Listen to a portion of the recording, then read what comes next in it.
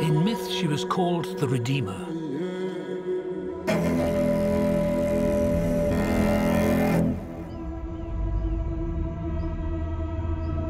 Do you know the story of the Princess Issa? It was said this child would stop the madness of war.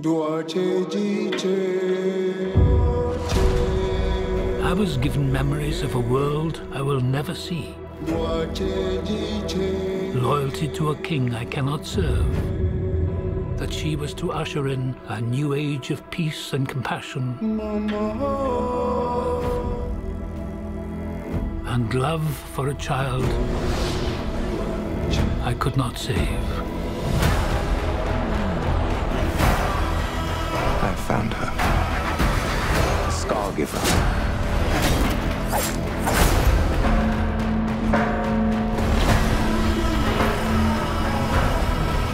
You think they want?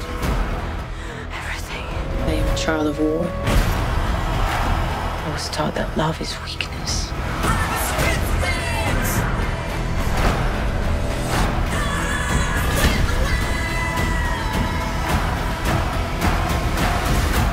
Shh, one moment. I do love this part. There is a difference between justice and revenge. There is a price to pay for your defiance. Hold on. I don't want no trouble. We're not here to bring any. Let's show them that we're not afraid. Let's show them we are more than the shackles that bind us. Are you ready? You and I both know fear.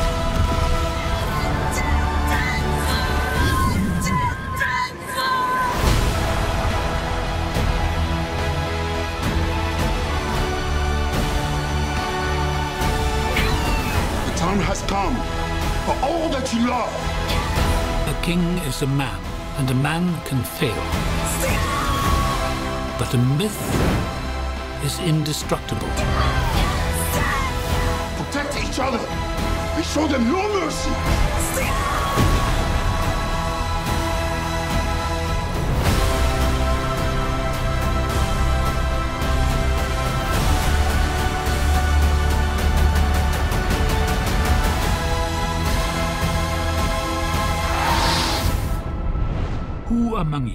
Is willing to die for what you believe?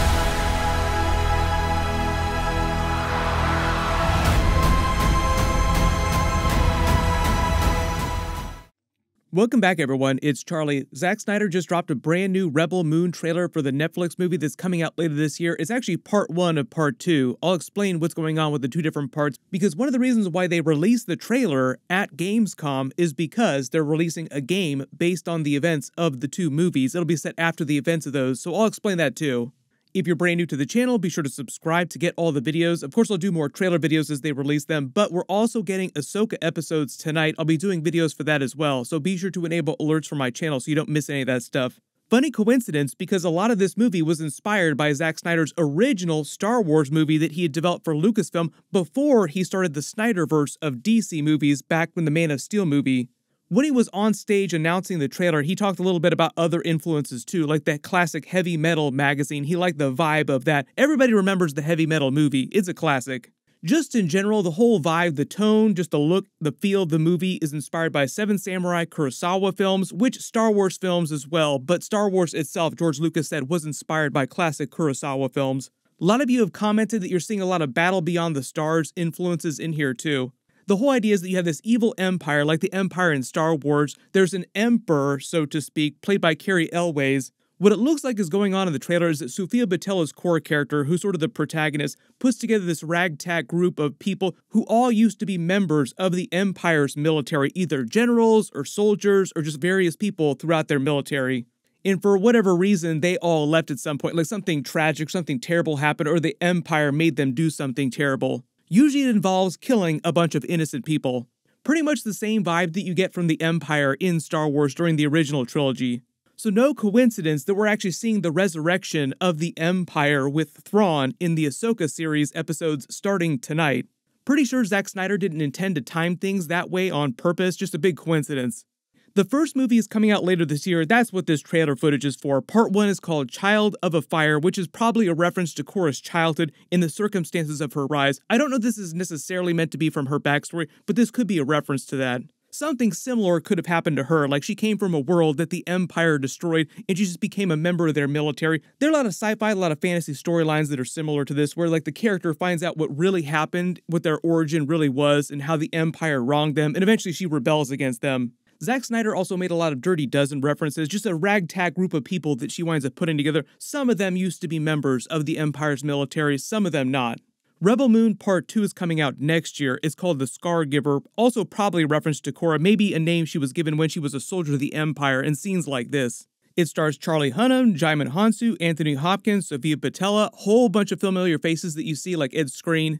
Velt was a settlement known mostly for farming. It's where the heroes of Rebel Moon started their journey when the Imperium arrived for their food. Ray Fisher is playing Darian Bloodaxe alongside his sister Devra. They're low resource resistance fighters. Charlie Hunnam is playing Kai. He's a mercenary. Djimon Hounsou's General Titus was an Imperium general or former general who turned on the world he once defended to live a sad life fighting in a coliseum. His experience being a general in their forces scarred him, causing him to leave and become a gladiator. He was a former ally of Kora, so when she's looking to defend Velt from the Imperium, he's the first person that she goes to. Michiel Huisman is playing Gunnar. He's another farmer living on Velt that becomes part of their resistance. Cary Elwes, of all people, is playing the king of the Galactic Empire, like the king of the Imperium. Fra Fee is playing the Regent Balisarius. He's the leader of the Imperium invasion. Ed Skrein is playing the Admiral Noble, who's another leader in their forces.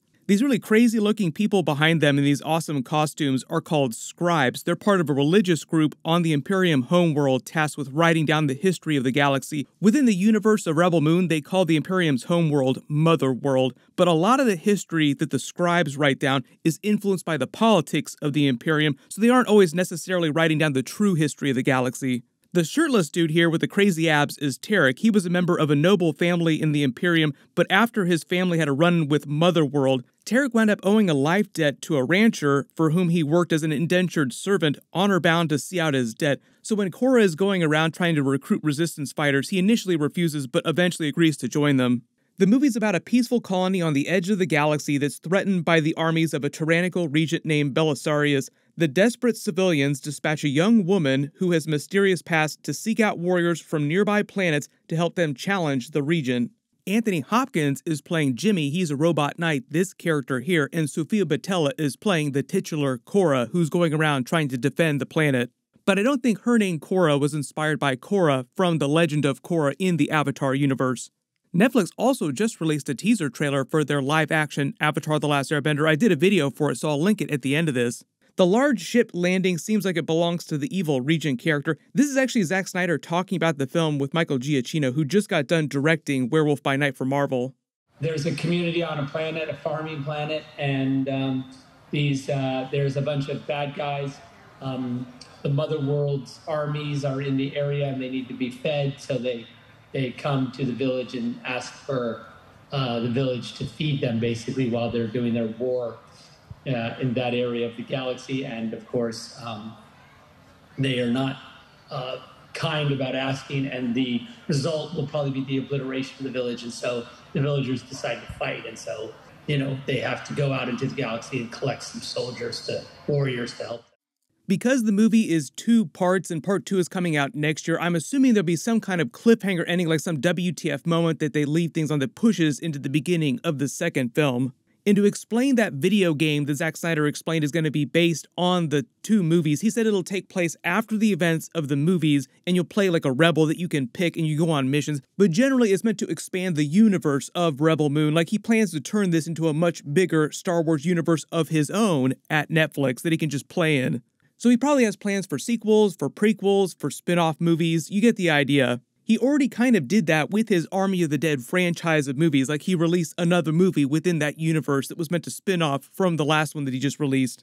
Generally, the trailer looks really crazy, so everybody just post all your reactions in the comments below. Like, there's a whole bunch of new IP that he's trying to introduce here, like a whole bunch of world building that he's doing, but you can see the influences of what used to be a Star Wars movie, like a bunch of space Nazis with a giant empire and emperor that they're all trying to stand against, a bunch of rebels standing against an empire.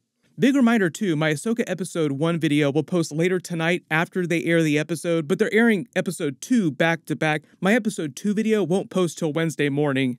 After that, episodes will be one per week. There are eight episodes total, just like The Mandalorian. It's meant to be connected to The Mandalorian. It'll take place right after The Mandalorian Season 3. Click here for that Ahsoka Episode 1 video. I'll update the link as soon as I post that. And click here for that Henry Cavill Warhammer trailer for his new series. Thank you so much for watching. Everyone stay safe, and I'll see you guys in the next one.